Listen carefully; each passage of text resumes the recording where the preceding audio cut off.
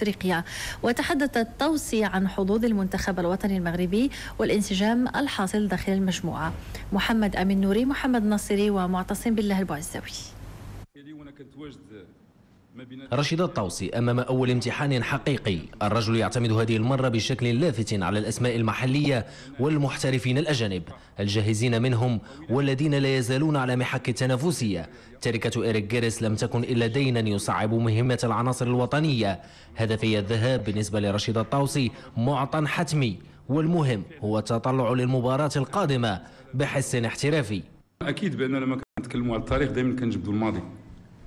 ماضي رشيد طوسي كذلك من الألقاب أصبح في طي الماضي وكذلك ماضي قس أصبح في طي الماضي فإحنا في مرحلة جديدة. وأظن بأنه قطعت على نفسي ومع اللاعبين بأن نبداو مرحلة جديدة. نفكر في المستقبل. هذه المرة كفة الأسماء المحلية أكثر من نظيرتها المحترفة بالخارج. وإن كان لرشيد الطوسي عتاب على مصطلح الاحتراف المقرون بالأسماء التي تلعب خارج أرض الوطن على اعتبار أن أهل الداخل والخارج على السواء محترفون.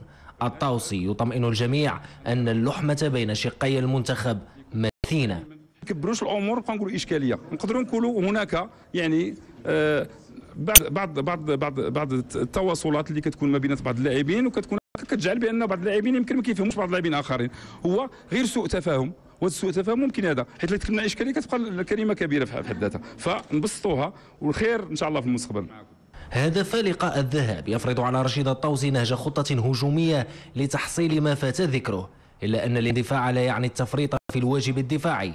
هنا الطوسي يؤكد بشدة أن الانضباط سيكون مربط الفرس في مباراة العبور. المنتخب